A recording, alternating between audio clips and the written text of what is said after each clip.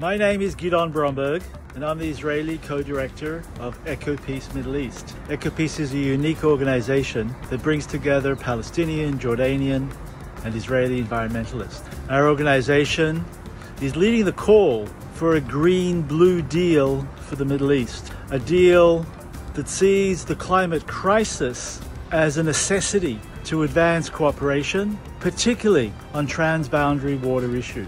One of the key themes of the Green Blue Deal is that water issues are no longer zero sum games. The fact that technology has advanced where today we can manufacture water at reasonable prices and at scale that can help contribute to water security and water resilience in the face of climate change means there is no need to continue to compete over natural water resources. And particularly in the Israeli Palestinian case, at EcoPeace, we've identified the advances in particular desalination technology. Climate crisis doesn't just hit a particular country, it hits a whole region in a particular way. And here along the Eastern Mediterranean and Middle East, we're a climate hotspot. And that in itself must incentivize our various countries here in the Middle East to work together to build climate resilience, to advance transboundary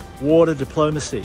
This is an issue not of privilege, not doing a favor to the other side. It's an issue of necessity. If we here in the region are to survive the climate crisis, we're going to need to engage more heavily than ever in water diplomacy, in climate diplomacy, in order to build the type of resilience needed to withstand the very scary repercussions of what the climate crisis presents for our already troubled region. Thank you.